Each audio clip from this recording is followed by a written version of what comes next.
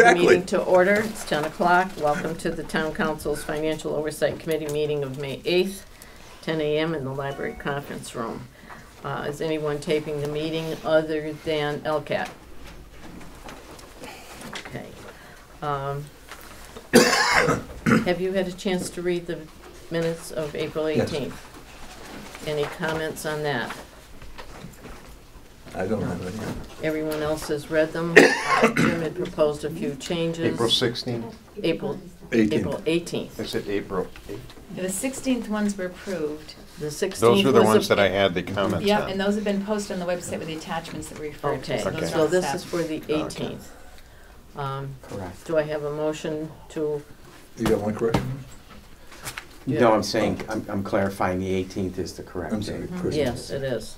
Yeah, the 16th have been approved.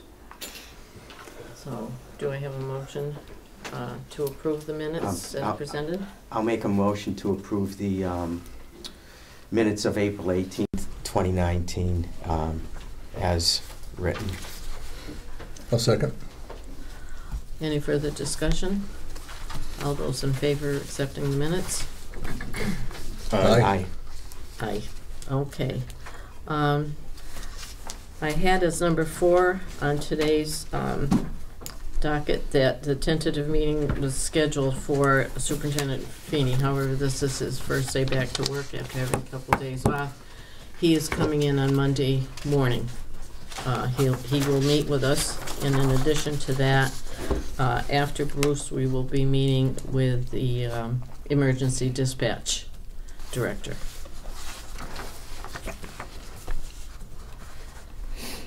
Uh, I asked you all to um, go over the Collins Center job study and read it. And um, if you had any comments in that regard. It's Pretty boilerplate, in my opinion, what we received. And uh, the scale, the hourly scale didn't really uh, lend itself to moving it. to- Translating it to annual. Yes, it, I know. yeah. Yeah, I know. Yeah, But- uh, unless you wanted to spend the next three weeks doing that. Right. Unless you could get access to the spreadsheet. Okay. Um, Item number six on the agenda is to continue discussions on the light item budgets that were previously set aside. However, we have uh, Chief Morissette here, um, who has offered his time today because he's going to be away next week, and I don't think it'll be timely to discuss it with him. He said there was one item. Um, In quick conference with the committee chief, uh, we are questioning the deputy chief position. understandable. It's um, something brand new. With the growth of the department in the past uh, few years, we went from uh, a staff of seven career to, um, to eight, seven days a week, 12 hours a day. And then, since then, we have now hired 12 additional. We're a staff of 20, working 24 hours a day. Um, uh, Ultimately, when the last group of guys gets out of the academy, we'll have five per group um, that work uh, a 24-hour shift. They're off for a couple days and back on for 24, Okay. and then back off for four days. Um, My, my issue as management is I don't have continuity with a position in there uh, Monday through Friday that can, um, the administrative duties are, are just with the ambulance and with just running the fire department in general is huge. Before it was easy because I had somebody there that was part of that seven-day-a-week shift, but they were always there during the day, at least three days of the week. Yeah, Now they're not, and potentially, like my inspector's there on Tuesday, but he won't be back in shift for the week until probably the following Wednesday, because he'll oh. work the weekend, and then he comes back in on that Wednesday, two days later. So, um, it, it's very difficult to schedule some stuff, and it's very, it's just harder to manage. yeah, Um, so the position of the deputy was, um, and to, to bring it to that level to the deputy al- also takes it out of the union. So when it comes to management and administrative de- duties and details, when it comes to personnel, I can have somebody that's not in the union. In the past, we've had discipline issues, not a lot, but we've had discipline issues where actually the captain that was filing the complaint was actually the union president. And Okay. it makes it cumbersome when you take it to certain levels, when you have a union president who's supposed to be representing the member, but he can't represent the member because he's actually the individual. Um, so it's, it's, it's cumbersome. So that's a, it's a step I, I would love to have for the department. Yeah, I know when I put my plan in front of the council several years ago about this whole transition, it wasn't there. yeah, Um, it was something that we thought we could get by without for a few more years. yeah. Um, but it's just, it, it's really a, a task that needs to, need, I need help with. Yeah. So, Um, and you asked for the position for how many months? Uh, three months. Um, initially, I asked for it for ten months, understanding the, um, the budget constraints for the town. Uh, And I, I, I get it, I'm a taxpayer in town, and I understand it. Nobody likes to see their taxes go up, um, but, um, we all like to see the services we get. So, um, trying to, it's gonna take several months, maybe even longer, to work with the town manager to to finalize the job description. The one I submitted with my budget proposal was a draft Okay. um, that the town manager basically, she saw it. Um, I'm sure she, there's some stuff that the town manager would wanna make sure is in there, um, just to cover all the bases. Yeah, And it's like, we gotta work through that. Uh, it's already negotiated with the union, so we don't need to worry about that piece of it. Um, it's not a union position. They understand that, um, and it's not a guarantee to one of those guys in the union. We can open it up outside, um, to bring in talent from elsewhere if we, if we're not comfortable with anybody from inside applying. okay. Um, I have a question, Christine. if Yes. that's okay. to the chair. Uh, So, if- I understand there's more, more full-time firefighters. Right. But there appears to be four fire captains. Correct. So you have a, a pretty good breadth of people directly under you.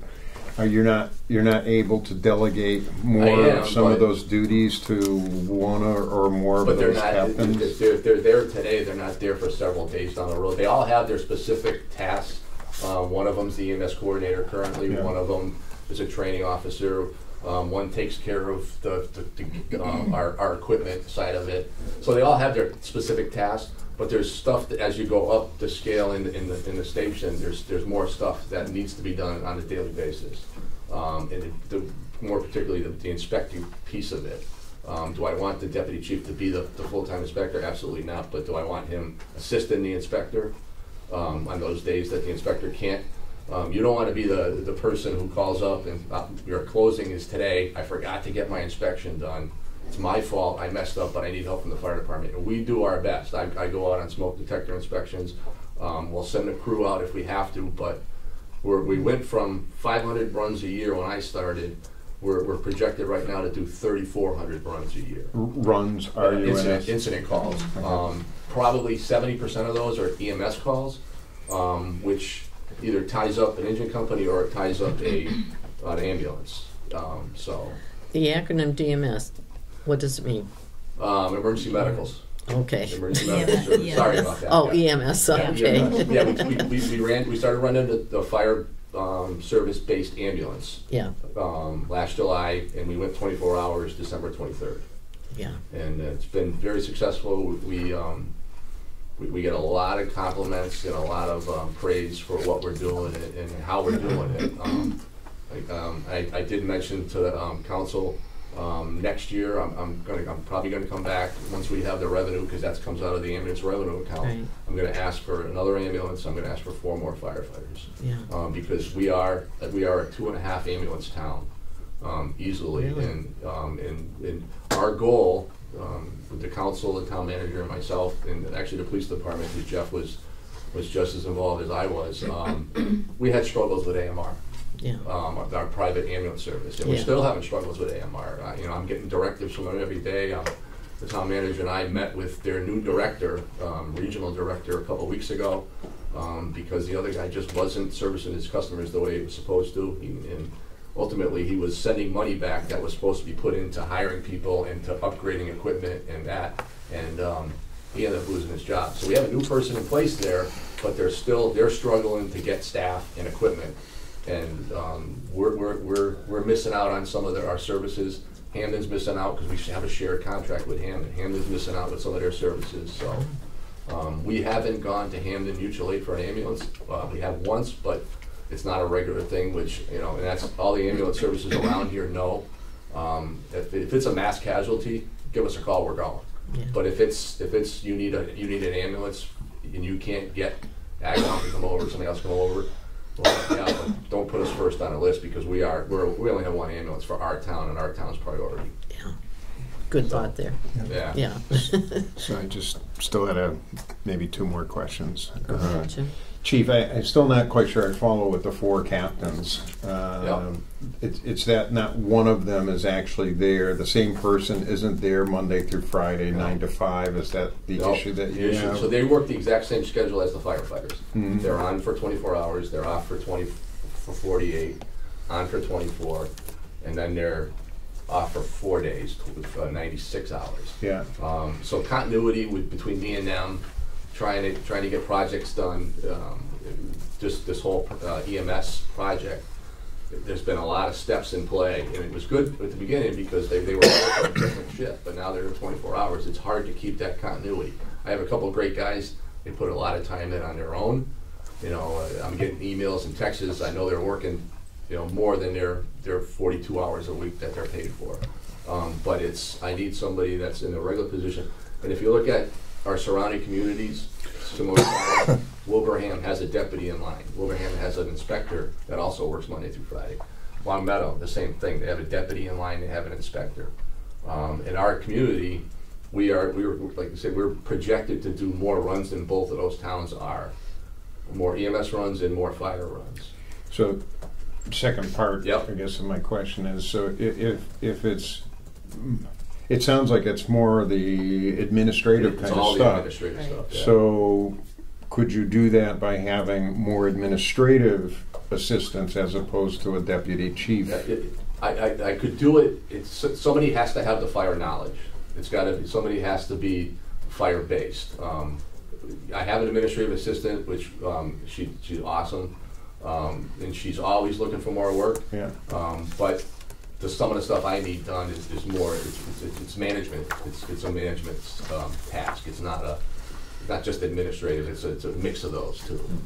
Um, so, discipline, uh, coaching, um, with EMS, there, there's all kinds of uh, mentoring that needs to go on, so, you know. And like I say, if you look at, in any, any structure, uh, you know, across the region, everybody has that, you know, they, they, go- they go, they'll they'll be, it's, it looks funny on an organizational it chart. definitely looks funny. It looks funny on an organizational Yeah, I chart, mean, but it'll no be- one would let there'll me be a- get away there'll with be a it. chief, There'll be a chief, there'll be an assistant chief, and then there'll be a deputy chief, then there'll be a district chiefs, and then underneath those. It doesn't have that full pyramid, it, it goes and it spikes up. Um, and a lot of, some police departments are similar too, where they'll have a, a a Yeah, I know. commissioner or I, I a looked chief. at your table and I'm there, Yeah, it's not, it's not your traditional pyramid or organizational chart, it really isn't. Um, Would, would this be a new hire, or would you uh, promote someone to that position? I have guys in-house that are qualified, um, and I, I, basically, I, I, again, that would be a conversation I don't have with the town manager, but I, I would definitely open it up to the inside, and depending on how many people apply, to give, make sure the town gets the biggest bang for the buck. Yeah, Um, if we only had one, it's not really fair to the town, let's, let's make sure we're looking at all our options, I would open it up. If we had all four captains apply. Again, I'm, I'm, I'm confident with all four of my captains.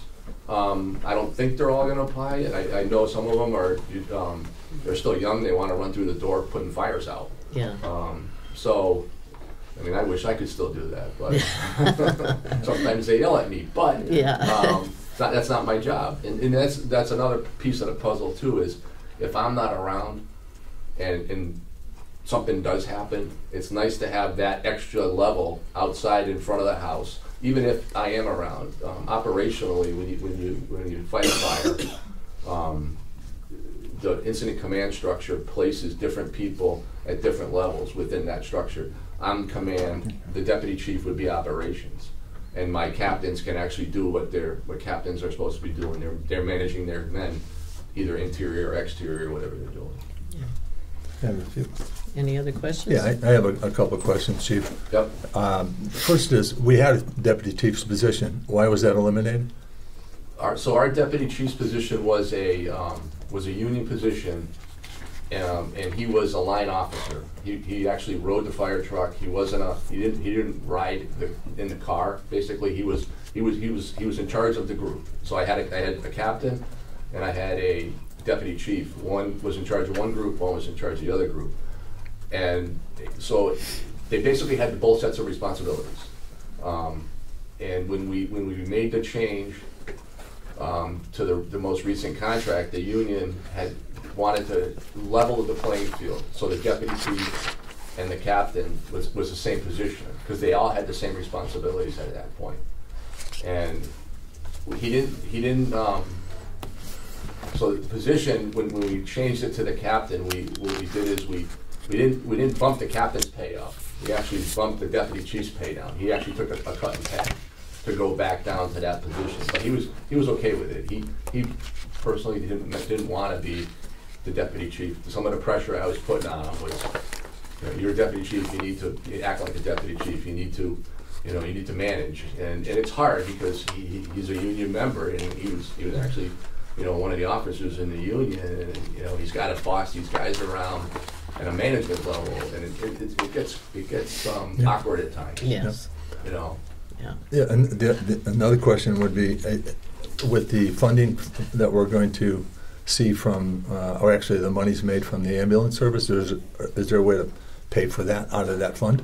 Um, not this year, um, Yeah. but going forward, what I would, what I would suggest is depending on how it ends up next year, it, roll some of the current full-time firefighters. You can't, I, I don't think we can just, fully justify that full position being paid for by EMS, but if, if his, part of his roles are EMS coordinator or overseeing EMS, we could, we could we could, we could use part of that money from the ambulance, because it's got, all that money from the ambulance has to go somewhere towards EMS. So if we're saying twenty-five percent of his time, he's working on EMS management, we could use some of that money. Um, I don't know, I don't believe we're gonna have money, enough money to fund more, really more than what we've already projected for this year's budget for the ambulance fund. The other question is, you stated uh, three months uh, for the actual salary. Yep, So when would that job actually start? uh, April first. Right, so between now and April 1st, we wouldn't have enough funds acc- accrued through the We ambulance? might- We might, um, we're, we're, we're pulling in money, um, every week. Um, I don't know what the rules are, we can't budget for it today. Um, like, when we, when we do the budget on, when, when the council finally has their final vote on the budget, whatever's in that ambulance revenue account, we can budget for. If it's not, if, I, I know we're gonna have money by, I, I know we're gonna have money by January that would fund this position. Um, but I can't budget for that Right. yet. If, if- can I come back? I don't know if that, if Yeah. that's a, if that's an option, if, if it's an option to come back and say, uh, you know, I'd really like to order my ambulance and I'd really like to get this, you know, deputy chief in position. I don't know if that's the right way to do it.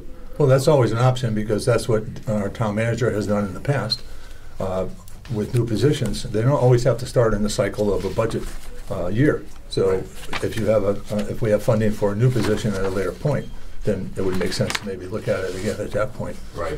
What we're trying to do and what we're trying to balance is Oh, I know. a, a huge offset, um, and a, a huge overage in our budget right now. And w- I think we're, no one here is gonna disagree that you've been doing a great job. Yeah. And I'd like to applaud you for that personally. Thank you. I Uh, second that.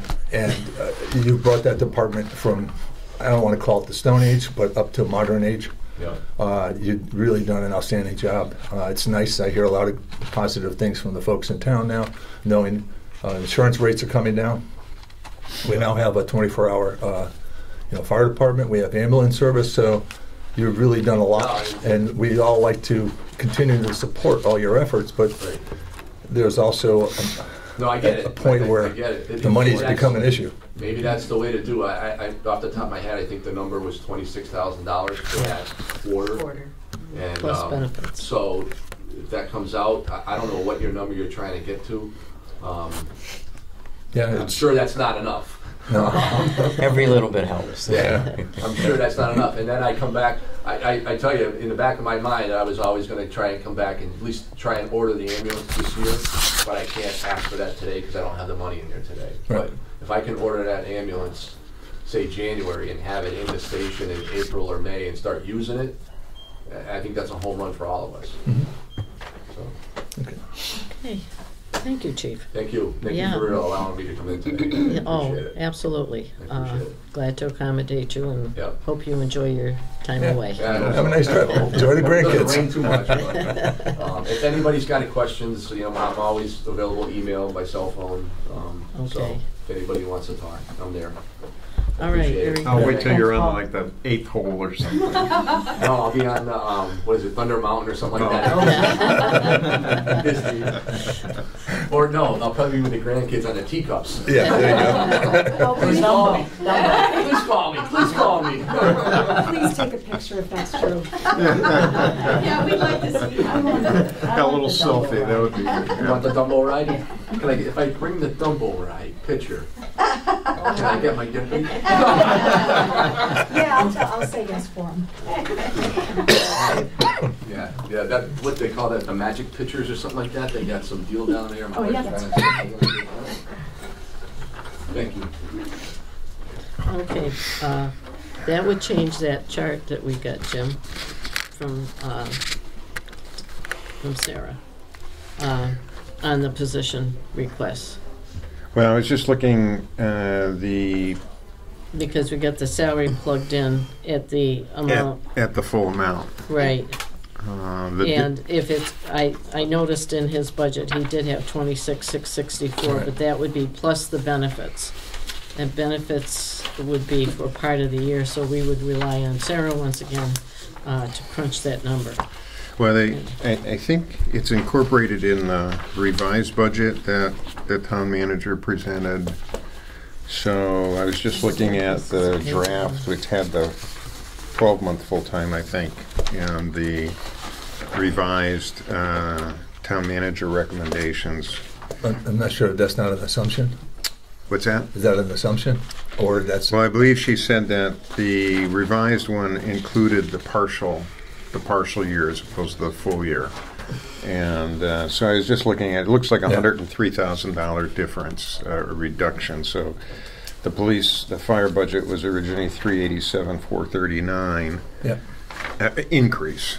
And, and then the, the recommended budget by the town manager, the increase is two eighty-four, one seventy-five. So it's about a hundred and three thousand dollar so it would have Yeah, to, I decrease. So that kind of reflects, it would, That we would position. assume that it would reflect that OPEB responsibility.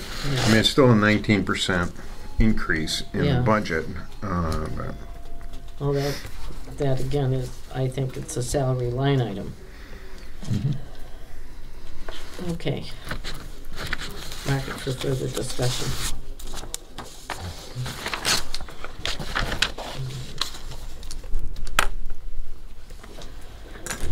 Okay, back to the agenda.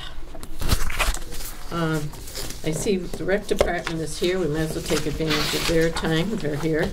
Um, I don't think anything stuck out in your budget to us. It was kind of uh, looking, yes, and, but we do have one question. Do you know how much of the area of the Pine Knoll parking lot is going to be paved?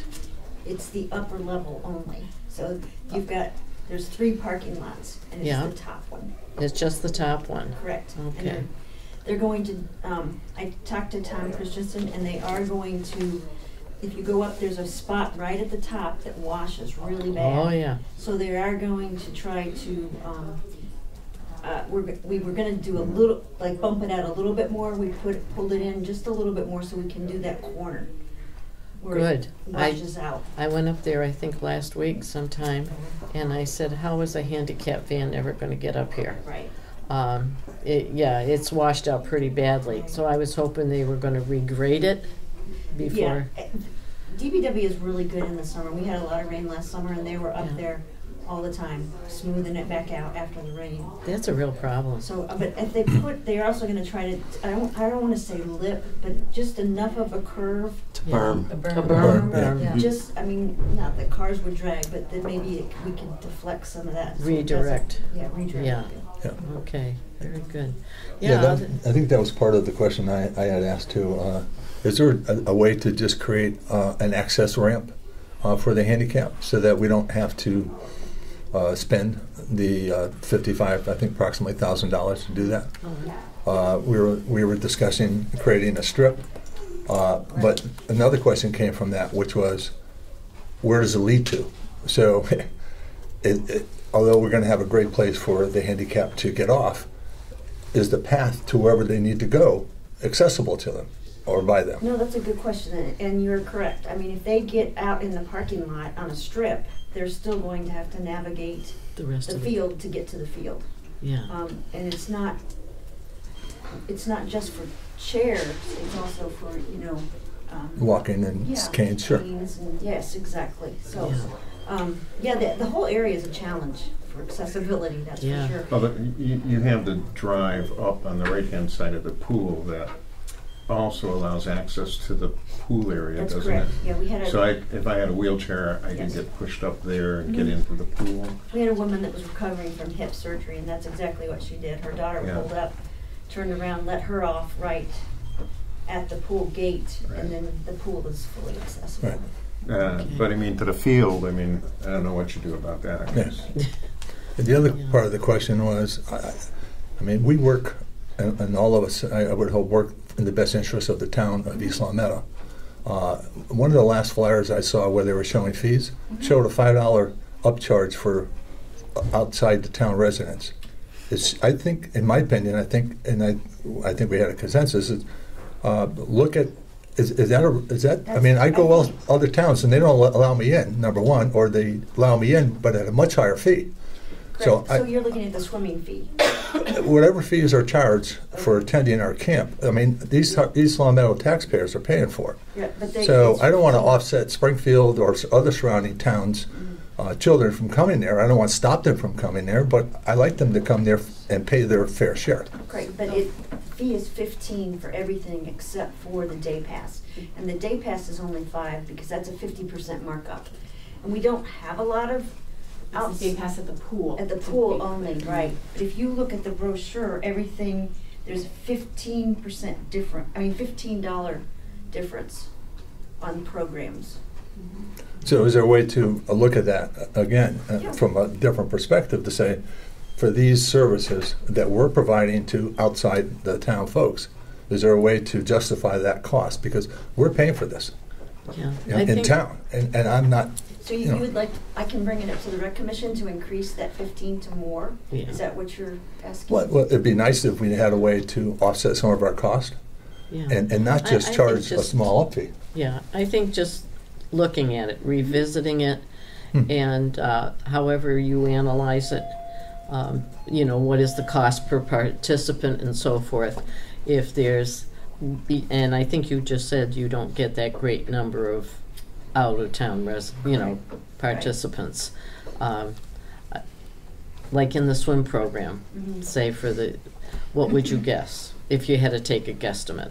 For the We won't camp- hold you to The camp is, Yeah. yes, the camp is more than any of the other programs, but then it's, we're, we're only, I, I mean, I could, I should have brought that with me, I could pull it up, but we're only talking a dozen maybe at the most, it's not, it's still not a lot. Yeah, Um, I mean, out-of-town cor- participants. correct. yeah. Right, we did, we've, Somers, um, Monson, Springfield, Yeah. Right, but and with our other sports, especially our travel sports, you have to have a waiver. So if someone wanted to come to Long Met, from Longmeadow, for instance, they would have to have a waiver from their town to join our league. So there's some league, there's not a lot of crossing when it comes to Okay. the sports.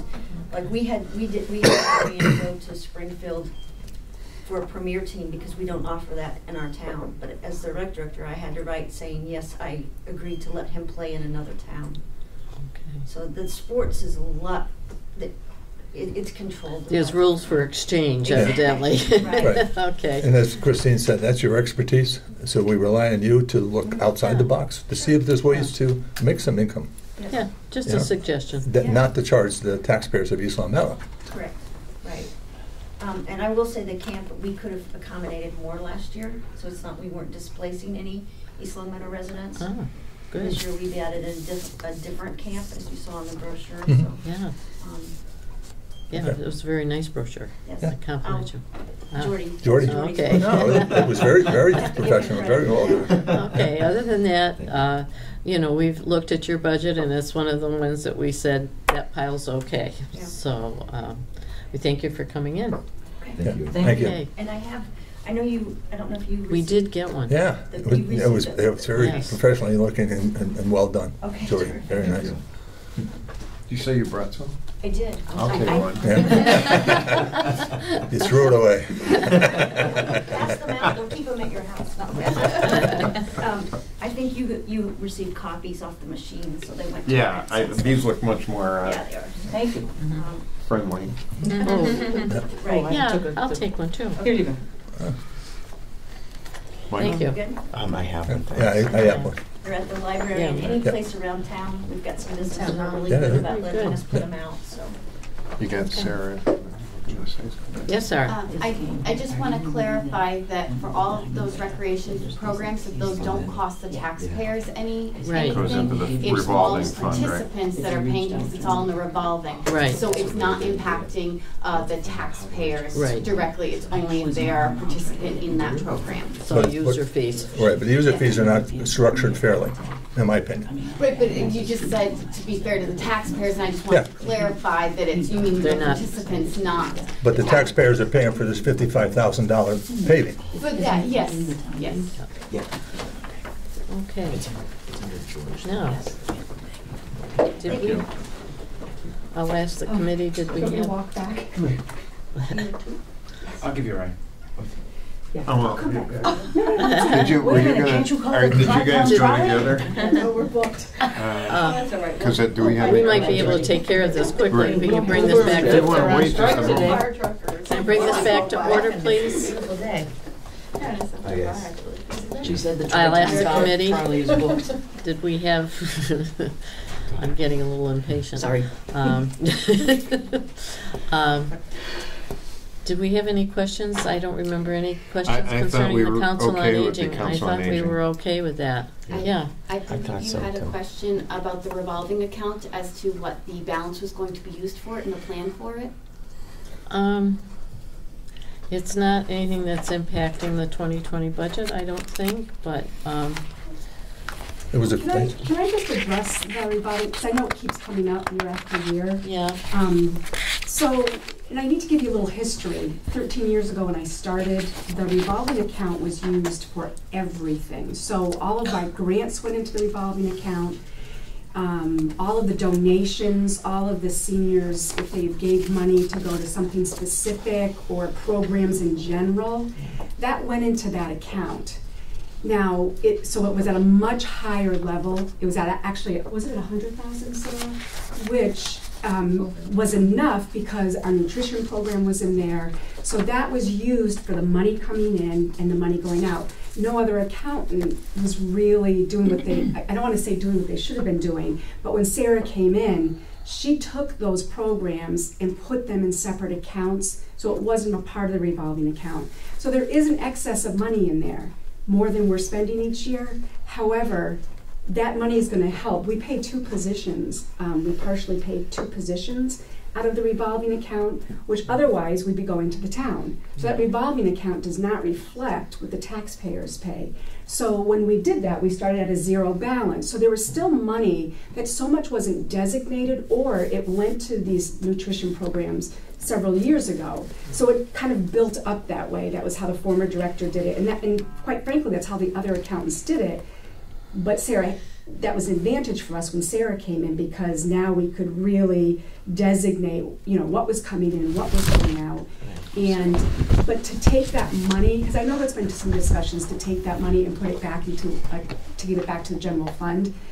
In my opinion, ethically, I don't think that's the best thing to do because people, those programs were funded through that and there is still money, but the easiest way again was to zero, zero those out and start on July first.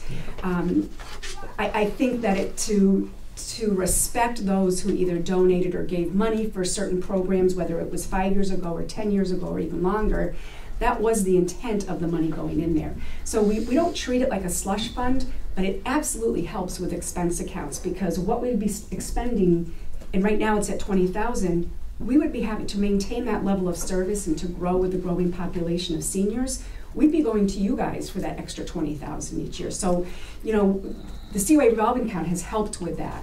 But I just, um, I do get nervous and I am forthright with things that that money has, has had a purpose and it should really remain with the Council on Aging. So I just, I think that's a future discussion, Huh. uh, because there are many revolving funds in town, and there's caps on the spending on those funds. No one's disputing the programs or the use of the money in the programs. What we're, we're talking about is the amount of expenditure uh, over and above, the amount of money is over and above what you can spend. And why is it sitting there? So, you're doing, your programs are great. They absolutely help the seniors, but they have a cap, which you cannot spend over. So why are we allowing monies to sit in a because we fund can over change cap? that cap.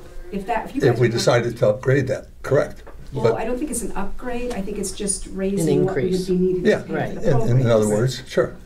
But I- we haven't done that yet. You And haven't, and I just wanted to address my concern, because that discussion has come up, and I just wanted to address it. And it at probably will continue to come up. Yeah. Because unless the fund gets raised for legitimate reasons, then there's still an amount of money sitting over there that, like in other funds, could be used to offset some of the other costs in town for the taxpayers. And and I, and I do appreciate, and I, and I certainly won't, don't want to get argumentative, but it, that money, um, it's, that money doesn't have to be raised, it's there. Yeah. So having a cap only is legally what we can spend out of it. Yeah, I, And that was discussions with Sarah and I, what we were using right now. yeah, Since we've taken those other uh, programs out of it and put their own separate account, we don't need it up at a hundred thousand, because that's what we were spending. To have two significant programs, that's what we were spending, was up to a thou- a hundred thousand dollars each year. So we needed permission to use the money that was coming in to pay for bills related to that program. Well, now that she separated them from, and starting at a zero base, what was it, two, three years ago almost, right? Yeah.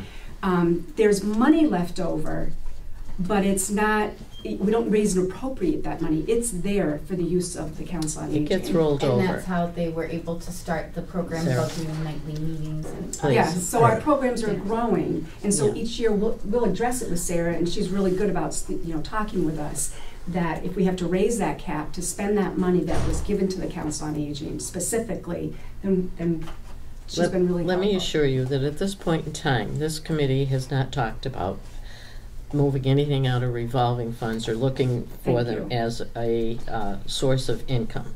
Um, Right now, I think the majority of us feel as though that may not be necessary.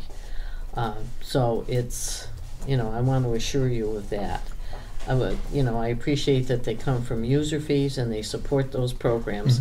And um, there were no other questions on your budget. Thank you. Uh, Although I would just say that we did have some discussion about them. I don't think there's any current plan No. to utilize it for the FY twenty. So there may be more discussions about it later. Because it is, I mean, I, Sarah had prepared something and it is kind of uh, strange to see estimated revenue for twenty twenty of ninety-five hundred, it being half of what the expenses are projected to be for that revolving fund. So in a way, you're kind of spending down Right. that. Yeah. Because I understand your concern, I do Yeah. understand that, and that's, um, But, Yeah. Yes. but uh, Christine is right, operating budget, and this was more a question, but not, not something that we, We're we're gonna pursuing make it. recommendations for. I'm in just a kid Vigorously. now, budget. so I like to advocate early, so. You're, yeah, and you do very well. And Denise is used to it. But I. I'm a I- pit bull when it comes to the COA. Yeah. And rightfully so, and rightfully so. You've done a very good job down there. Anything else? No, not really. I don't think so. Anybody else? No? No. Okay, Thanks thank you, Carolyn. platform, too.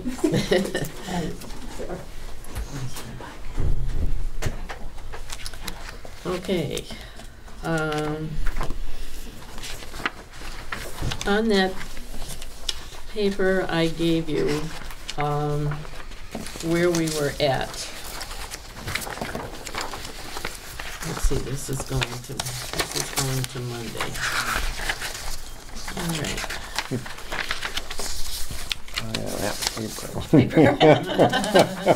Got so many pieces of paper. I know, the work in progress listing for for today. Um, I would ask you, going down the first section that has to do with general government. Um, Item number one, we might as well ask Sarah while she's here.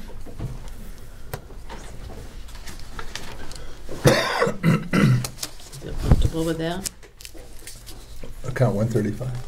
Yeah. Yeah. not 135. Although I, I, am- it's my understanding that in the revised budget that the town manager presented, they uh, reduced the full-time Yes. request to a part-time request. Chris, do you have an extra copy of what you're talking about that I can refer to, or? No. Okay. Uh, we could make it. quick copy. No, there's an extra. Is um, this here? Yeah. That's okay. Well, here, we can, I can move this one. Is there a job description for that position? May I, Easier to do may this I way. Just do my presentation on the, the accounting question? Well, we didn't really want a full presentation, but.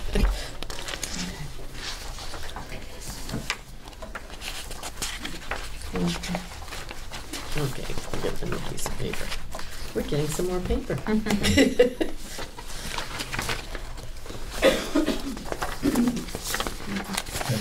You're welcome. Uh, So I wrote up this memo and I'd like to, to read it to you, um, and then you can look at all of the information that I've attached um, afterwards. Um, So this is regards to the request for a procurement manager. I am requesting a position for a procurement manager. I have attached a job description to explain in detail what this individual would do. However, I think it is important to understand what is procurement and why procurement is so vital to the town of East Longmeadow. In Massachusetts, procurement is the hmm. acquisition of supplies or services, the disposition of surplus supplies, and real property acquisitions and dispositions by governmental bodies, in this case, the town of East Longmeadow. This type of procurement is subject to Massachusetts General Laws, MGL, Chapter 30B Uniform Procurement Act.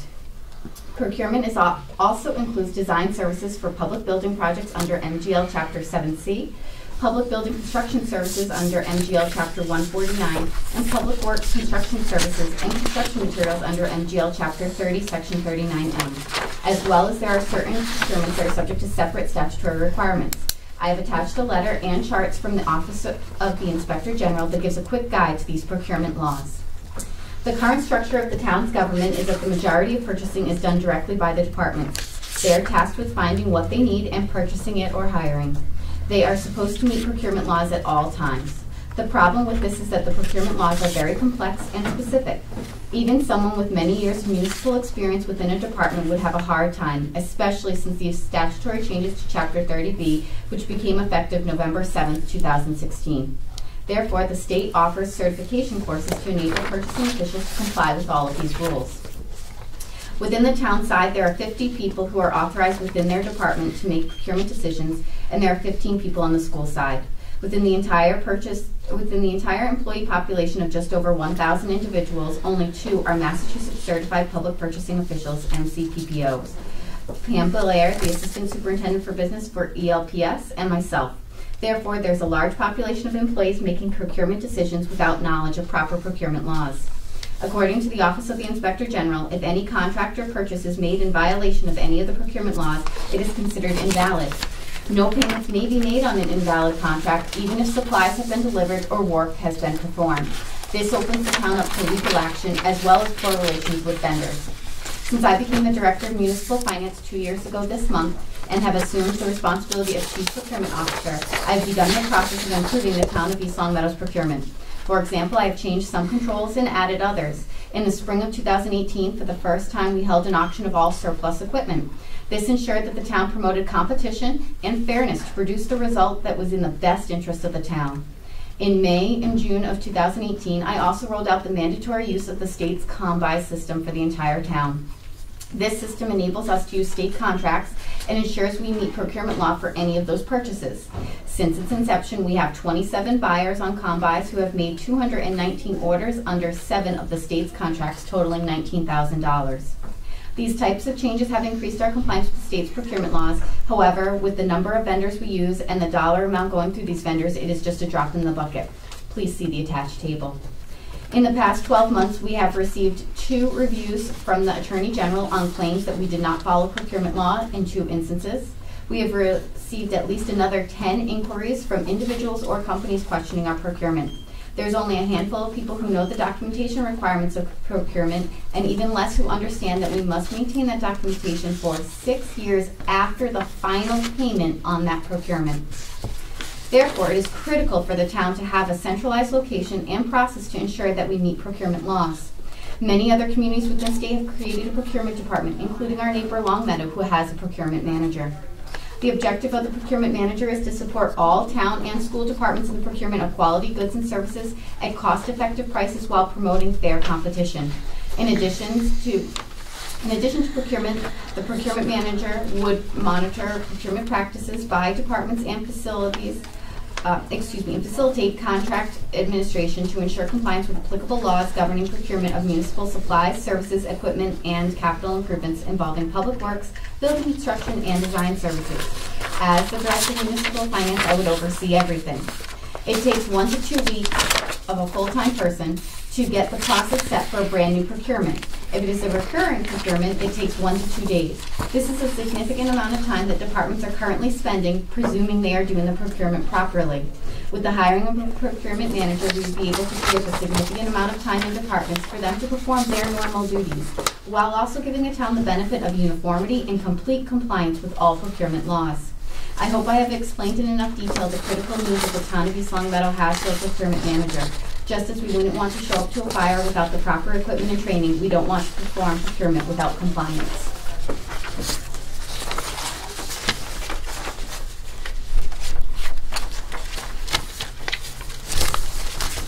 You are the chief procurement officer, correct? Yes, I am. And it was in your job description as finance director? It was, Is it still? yes. Okay.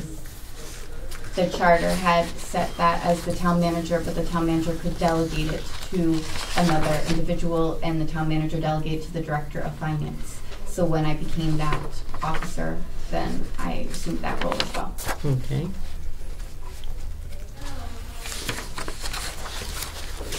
I Is- have one just technical question. Oh, I have one first. What is, what is the state law change that you're referring to? And- And what, what did that So mean for, it was the Massachusetts Modernization Act, and it updated a lot of Massachusetts general laws, um, not just relating to procurement, but relating to pretty much all aspects of Massachusetts laws, um, and getting the laws more modern. Um, and so it changed, for instance, with procurement, it changed some of the thresholds, some of the requirements, um, things of that nature. Uh, some of the things are more complicated. So, for example, when you're seeing, I had written about the Public Works construction services. They're like, oh well, we're not. We're not constructing a new building with Public Works. No, that ref- reflects anything that Public Works does that could be related to that. So if we were to paint the inside of the library, that falls under procurement laws. And there are certain requirements such as prevailing wage laws and additional laws that all impact that. So it's, it's a very complicated area that needs a lot of expertise. Let's play what if. If the position is not recommended, may still be approved, I don't know. Uh, but if it weren't, you have fifty-one hundred and fifty dollars in for training seminars. Would that, is, is that specific to procurement or, It's um, for any of the training needed by my department. So myself as well as I have an assistant town accountant who does her annual required training. Um, and then I do have a payroll administrator and an accounts payable administrator. So depending on who is within our department. So if um, if the procurement manager did not get approved, then I would use some of those funds to send my payroll administrator on some of the labor law changes and the payroll updates that have happened since the last time I was able to send her. Um, and those kinds of things to make sure that everybody gets the different areas and essentially takes turns. It's not enough money for everybody to do all the training that they need every year. Yeah. But then I, I have to, to use all that. So if I were to able to have a procurement manager, I might have the payroll administrator wait another year before doing that kind of an update. Okay, I, I understand the training portion. Are- Are any of these like continuing ed- education Yes. credits? Oh, for- yes. For a Oh, type of yes. certification? Um, the majority of that is, yes. Okay. The, uh, in my position as the, um, certified governmental accountant, um, through Massachusetts, that requires, um, annual education, um, which is paid through there, as well as the assistant town accountant, she does that same kind of annual education. Um, and then as the MCPPO, there are annual education requirements, so that's also paid for out of there. Uh-huh. Okay, uh, I had a, let's see. The other question I had, so the travel, I, s- I noticed that there was six hundred appropriated last year as of December thirty-first, there was no money used. Um, had, has any money been used, or are you just putting that in there as a what if? No, um, some of the money has been used, but if you will recall, um, I was expecting my third child in October. Mhm. So I wasn't going to go to the other side of the state, ten months pregnant. Um, and then when I was on maternity Oh. leave, I was not therefore going on training, so for half of that six months. And then my assistant town accountant was was assuming my responsibilities while, a lot of my responsibilities while I was on maternity leave. So it wasn't appropriate for her to be leaving the office to go to trainings when then we were down Needing somebody coverage. anyway. Right. So, um, in the spring, we have been able to, to do a lot of those, uh, to kind of catch back up to, to get to do our trainings. And our annual schooling is offered in March anyway for Yeah. the accounting side, Okay. March and June. And your capital outlay for furniture, uh, is that in anticipation of the new person, or? Yes. It is? Yes. Okay. So in um, previous budgets, um, we were able to um, purchase uh, new chairs and desks for the uh, staff. Um, And so that is anticipation for the procurement person to have of a seat and a desk. Okay, Jim, you had a question? Uh, just wanted to make sure, I, I, I can't actually find it in the summary presentation from April 29th. Did, did you determine that you would reduce the full-time, additional full-time to a part-time? I, yes, in the, in the April 29th, yes. I put the procurement as a half-time in order to try to help with the budgeting constraints. Yeah. I do feel that this position can be more than busy in a full-time um, option, but um, to try to at least um, help with the budget and to get a start somewhere. So I guess a, a question I would have then, uh, Sarah, is it looks like the budget between the requested amount and the revised amount only goes down by like twenty-five thousand dollars, which is a, kind of the, given the spreadsheet you gave us, just the amount of benefits, it was still, so I'm, I'm ju- it doesn't seem to coincide So, with. Right. um, as was asked at one of the last, um, meetings, um, how many, um, of the individuals had not had their, um, adjustments due to the Collins Center. One of them was within my department. So that has since occurred and been finalized, and so that impacted the salary and offset some of the decrease due to the procurement, um, manager So you had another, part-time. another adjustment that needed to be made that wasn't in the draft. Mhm.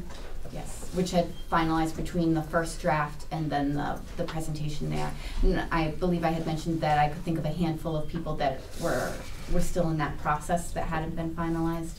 And that was, um, one of them was in- within my department. Are you aware if all the contractual increases have been finalized at this point in time? That's a question for Denise. Um, as far as, as posted, all of those that have been, um, approved have been posted. This is an ongoing process through the end of the year, that people have anniversaries in May and April. April has not been done, May has not been done, because it, it means reviews and the whole process, so there So- will be additional changes. How yes. many uh, employees are affected by this? I don't offhand, I can, I can find that out. I know I have a list like on my calendar on the first day of Yeah. the month as to who I have to review and stuff. Yeah, please do. Okay, I can do that. Yeah. Another question? Yes. In our last discussion, uh, Denise, uh, there were two positions that we're aware of that have not been uh, renewed. Do you know where we stand with those? It sounds like they're close to being finalized, and what the impact would be on the financial side. I don't know what positions you're talking about. Well, that was the discussion we had with, uh, with uh, Sarah. Well, first is, we need to know what's gonna happen with HR, and the second is the police chief. His contract has not been renewed. His, his con, uh, it's being extended. He has a letter into me to extend his contract, so, uh, we will be doing that. Um, but that has to come to the council, actually. So what's the impact on the financial side? Um, as of right now, uh, there is no increase that's being discussed. Again, that's one of those that is outstanding. His contract ends in June, so I wouldn't, I would, wouldn't be doing that until the end of this month, in an ideal world, or June. Um, uh, the other is HR. And HR, um, I have a contracted service that is, it will be beginning. Um, I don't have like the analytics of exactly how much it's going to cost because I in fact asked them to reduce some of the costs last week. It, it, um, I, I received it on Monday. Um, it will definitely be less than we have for HR now because if, there will be no benefits paid. So the hourly rate is much higher, but we're reducing the number of hours that the position, I really don't feel that amount of time is needed. Um, the clerical side of it is being done, um, by, uh, an admin that we presently have for a stipend of fifty dollars, uh, a week, so that's an easy fix. Um, that is not really impacting, she's having a, a, a good enough time to keep up with processing the paperwork. I, I would like to try this contracted service and then put it out for RFP if in fact we feel that we can do it that way. It may be a more co- cost efficient and actually manpower and space efficient way to, to address the HR needs. Yeah, You you mentioned that in the past, uh, and it, uh, what my, my follow-up question would be, the HR budget was budgeted for a- a full year for two staff members, which are no longer there. They haven't been there for many months. Uh, Is there any returns to the town for those funds? On June thirtieth, there will be. There will be on June Right. thirtieth, uh, but I've, I've again budgeted, not knowing if we can do, you know, a contracted service, we need to, to keep those positions. I Understand, but you must know what the amount mo- is, amount of money is. Option. We can do a calculation, but again, that goes to being offset with the, with this contractual service as Right. well. Well, that's in the Do you future. anticipate doing that, um, say in July, or are you gonna do it? Oh, no, it's, Within it's this- starting like next week. Okay, okay. So you'll be using the funds that are Yes. currently Yes. in the fiscal nineteen budget for that, Yes. under human resources? Correct. For the balance of the Clear. year, but again, we have a period of six months, which was a blackout period, where no fees were paid. And no uh, monies were paid to anybody. Oh, Sarah has some enlightenment Please keep here. in mind that when individuals did leave, we did have to pay out any vacation time that they had accrued at that point. So even if their date was earlier, they could have had however many weeks of vacation still to pay out. So it's not necessarily that we had all of that extra, as well as the stipend that we've been paying for that one admin has been coming out of that HR-related salaries budget in order to pay the stipend for somebody doing HR duties. So we do have that. Yeah. Um, I can do a figure to, to calculate out how much remains at this point, if that would be helpful. Sure. It, it, I'm certainly that, that's a number that's not that difficult to get, Yeah. minusing out the contract, um, but It, it's all fiscal nineteen I was gonna impact say at at this end point in the time. Exactly. And any, anything left over is gonna flow into the undesignated fund balance, Then so, ultimately Right. free You know, cash, correct. Or- right. Yeah, at the end of It would or just be, to help balance the budget. yeah. um, h- If you, if you settle a, an agreement with them, I won't say contract, if you settle an agreement with Human Resources, you would have a ballpark figure of how that's gonna impact the Human Resources line item. Absolutely, Um, and would you be able to provide that to us yes, I will Um, do at some, or provide it to the council at some point in time? It's because- down to a certain number of hours per week. uh, Yeah. And, and a certain rate, which they've come down a little on the rate. Um, Okay. I've also, um, asked for a number to um, have them do a larger search for an HR um, person, but I'm holding off on that, not knowing if that's really the direction that we want to go. Or would we prefer to, or feel that we can address the HR needs of the town using a contract. Yeah. Does it include the schools or the schools are separate? Um, some of the things, uh, we don't do the schools hiring, Yeah, but there are some things that are, uh, the benefit piece is absolutely all done by, um, Kareem. um, okay. Who has also taken on some of the family medical leave, so there are certain things that are, they, there's some crossover. Can be Right. reorganized, kind of. Correct. Yeah. And that's, that's part of having a, an organization that, you know, we don't have policies and procedures. I understand there were some a long time ago. Mhm. We have no record of them, actually.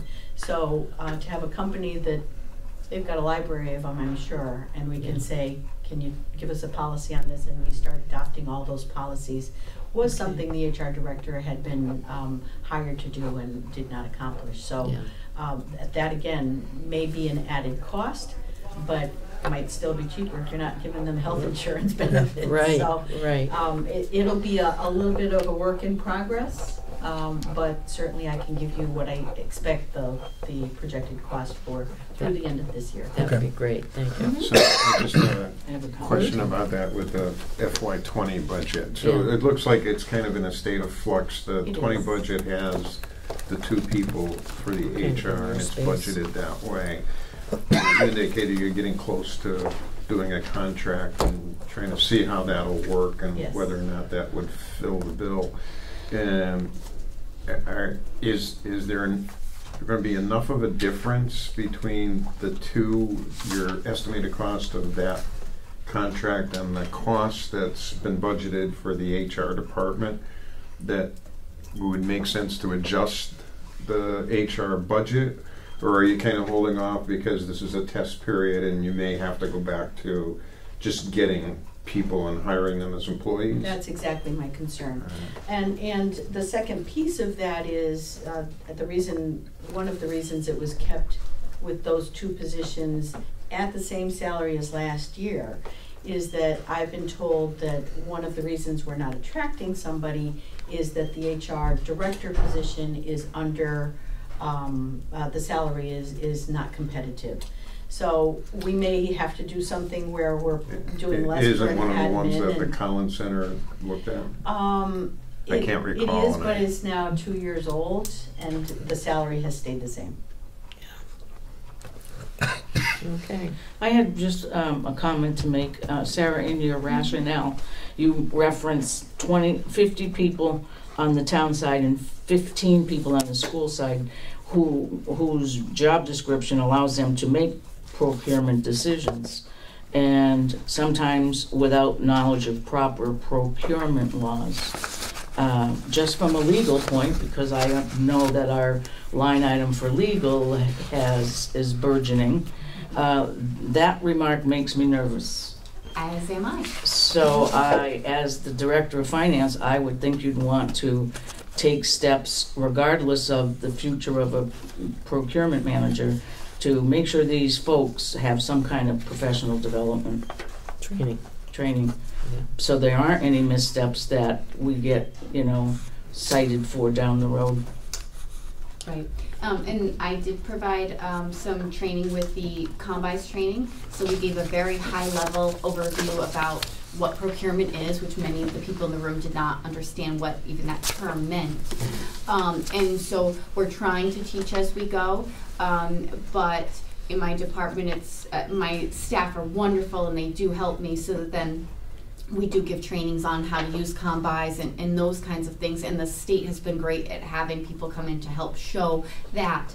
But having that many different people that can order stuff, for instance, um, that they're not thinking of this as procurement. They're just thinking, hey, I need, I need, whatever, right. and not understanding how the procurement rules also look at it in total. So saying, oh, you're buying five chairs, but you're buying five chairs. Now that added up to a threshold that now triggers procurement law, but they're looking at it just in a bubble. So having uh, part of having this procurement manager would be to help to prevent that bubble kind of effect happening. And where possible, I do try to educate, um, but it's also hard to get that many people to. to I'm, I'm not necessarily educated. suggesting that you take on the professional development, but somebody takes on the, Right, and the the, training. cost I was of saying all the of that. office of the inspector general. will can do that. Right, Do Right. they have, offer. do Send they these have people trainings somewhere. with, because like the attorney They- general come out do. and talk about the They OPP. do, and it is, it's not cheap to do all of that either. But I mean, Yeah. we could definitely do that. I don't think it's the, Does the state charge? uh, yes, you have to, to pay for these courses. You, you're earning Well, I'm, credits. I'm saying more of a, a workshop seminar for employees to give them, Yes. you know, the bones of procurement law. And, uh, at least it, give them a level of education that would be, The, the basic uh, procurement uh, course that they offer is a three-day course. It's a full three days. Um, and they only offer it at a couple of locations and none of which are here. So, I I think you're missing my point, Sarah. okay. I'm, the Attorney General sends people out to talk to groups, Mhm. be it municipal groups or from, say, the collector's office, the assessing group, whatever. And they don't charge as long as you provide the venue. Mhm. And you get a group of twenty people, twenty-five people, and they speak and, and give you the, the broad outline. You, and generally they have handouts which help to educate people.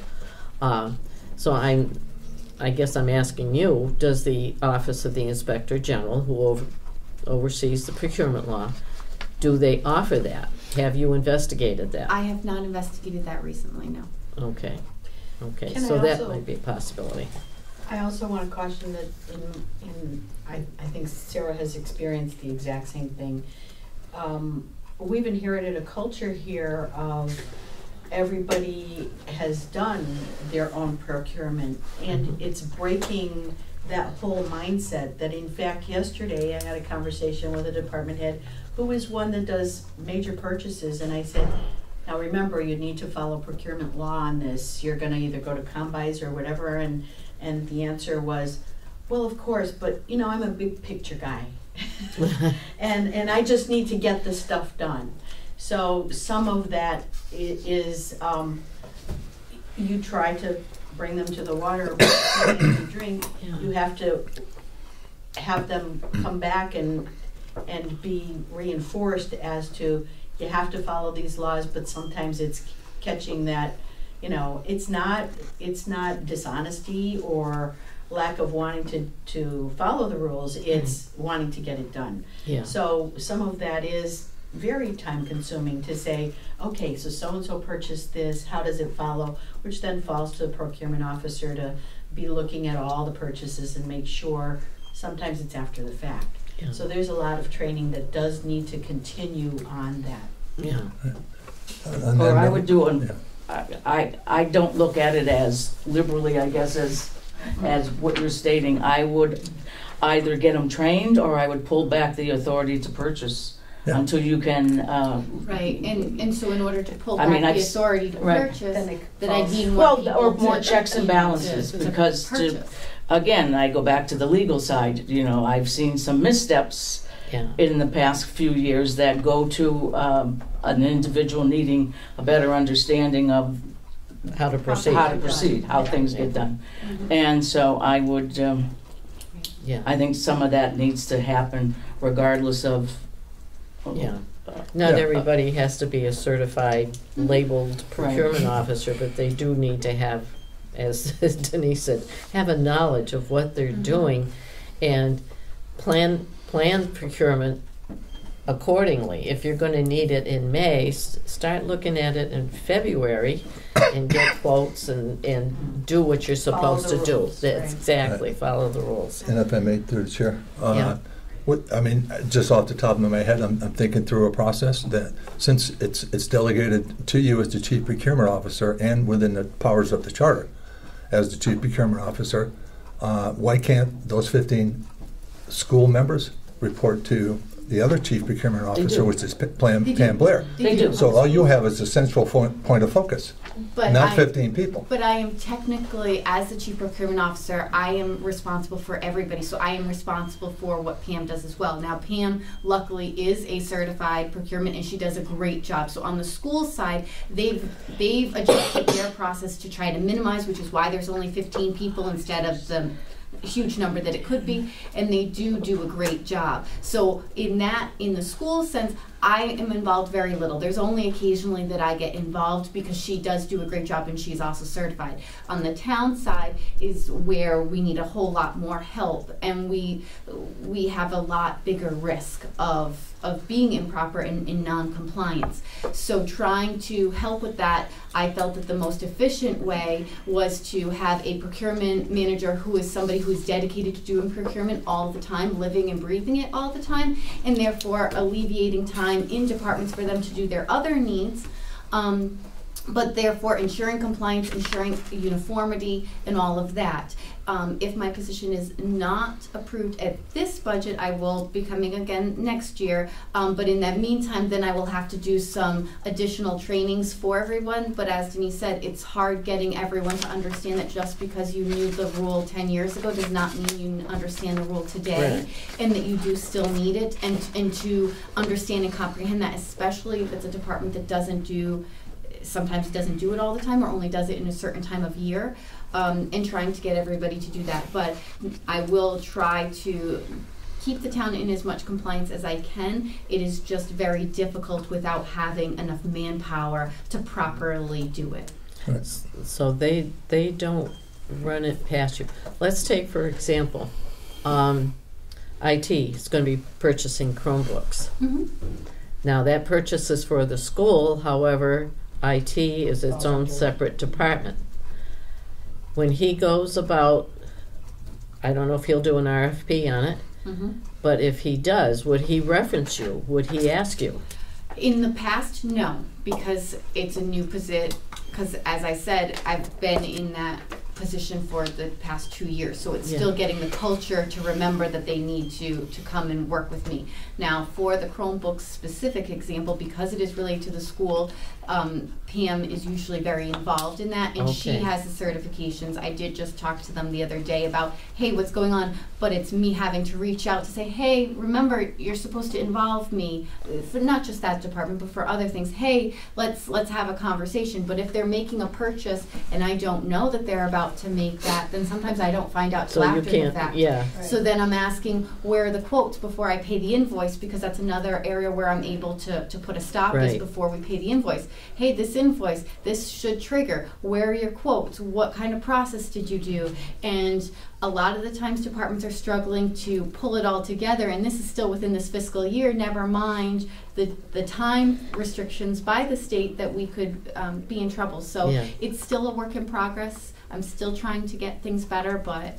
I Yes. thought this would be the most efficient Yeah. way. Good, Jim. Just, just something to throw out, and it's probably not workable, but, I mean, if you have a handful of people that you trust, Mhm. that you feel do know uh, the, the policies and procedures, could you kind of like delegate others that you're not so sure about to use them as their mentor, as opposed to, you know, having to every, have everything fly through you? I, I suppose that's something I could talk to the town manager about the possibility, but remember, none of this is part of their job description, you know, and so getting them to do that on top as of other their, duties their as- as other, required. their Do have other that. areas, and they don't report to me either. Um, Right, and I, so- and you wouldn't be able to, uh, although your function as procurement gives you a town-wide authority that. It um, does. But I, I just throw it out as Mhm. Something. I, the only other thing I had is if you're able to provide us uh, an, the updated uh, personnel budget for the accountants uh, department. Oh, I forgot that today. 'Cause I'm I- so sorry. Yep. All right. Yep. Okay.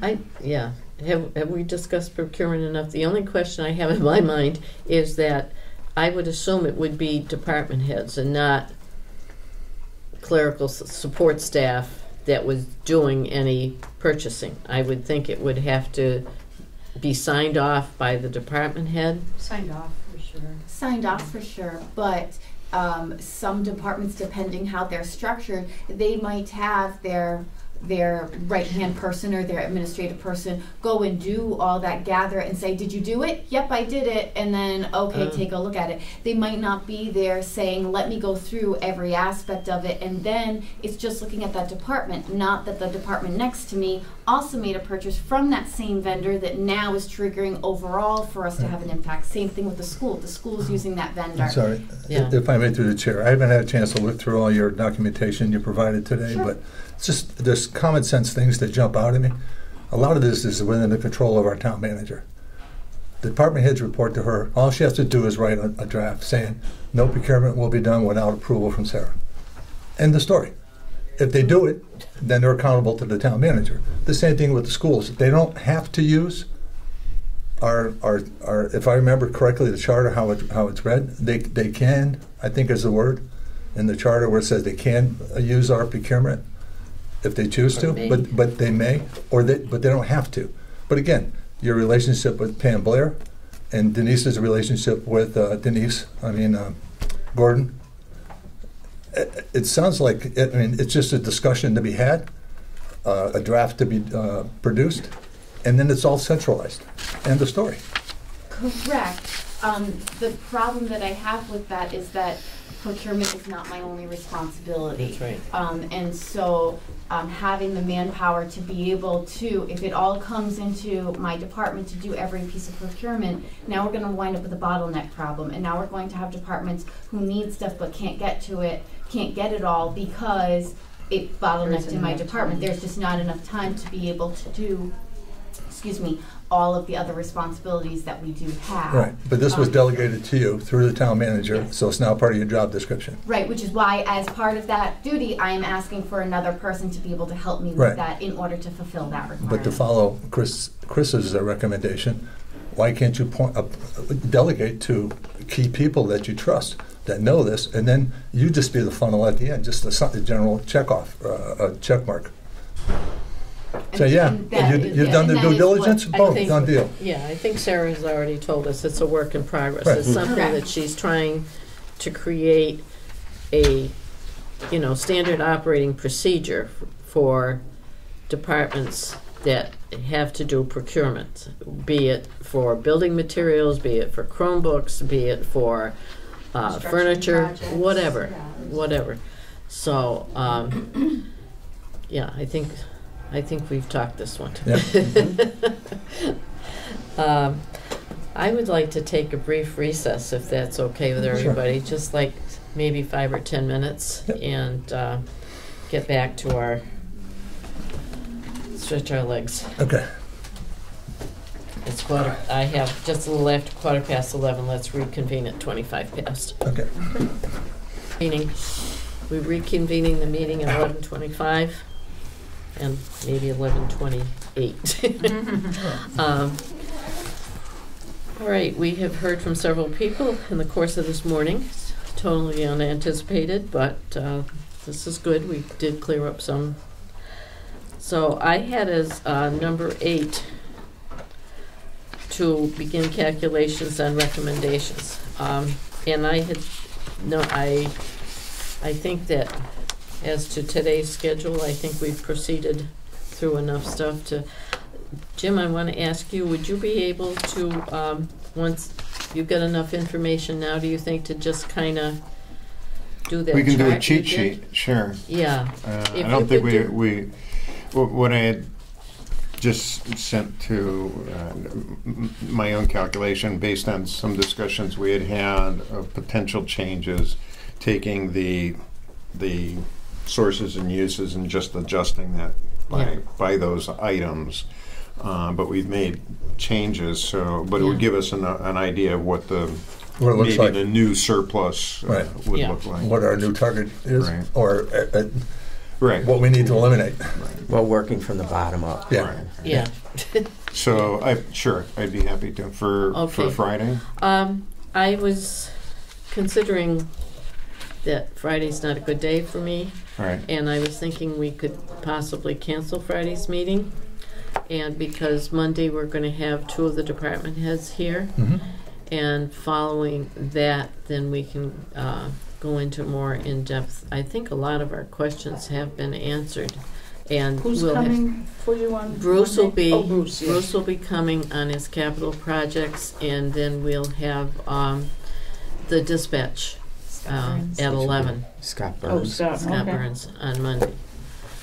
So, um, So do you want to, do you want to cancel Friday? well, that- does the committee feel? It's not good for you, it's probably not good for the rest. Well, I Not could use the for time you. to catch up on four hundred pages of reading. Well, that's what I'm thinking, I'm Mhm. thinking, and, uh, I think we'd be more ready to go into more in-depth discussions, um, on Monday. So, um. So we'll keep that being- working, but it won't be formal. So Monday the Right, Friday. 13th. Right. So, I mean, try what to, re- time? try to review everything that we've done at this point in time. I'm sorry, what time Monday? Monday at ten.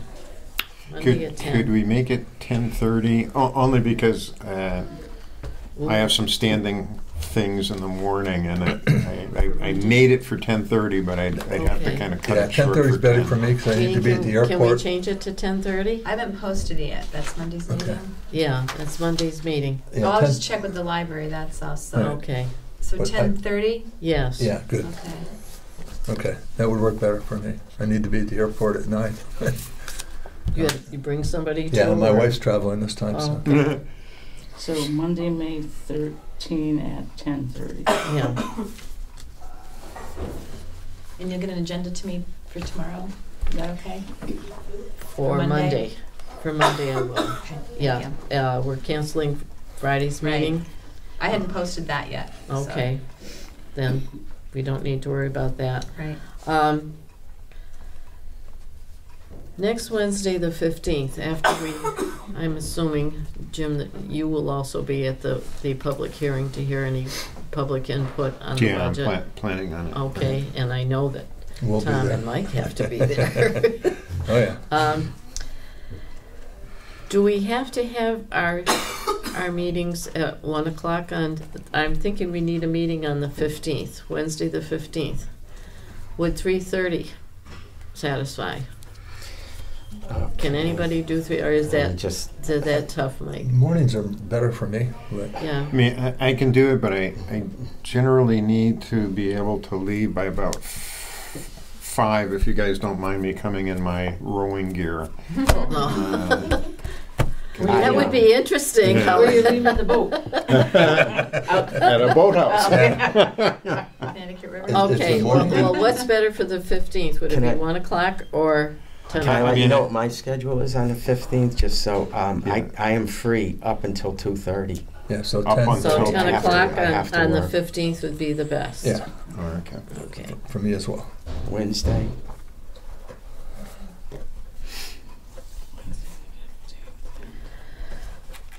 Okay. Uh, So with that said, I think we have accomplished a great deal today, gotten some questions answered, learned a few things about procurement and revolving council on aging funds and so forth. I would entertain a motion to adjourn. So moved. and I'll second that. All those in favor? Aye. See, I've learned my lesson.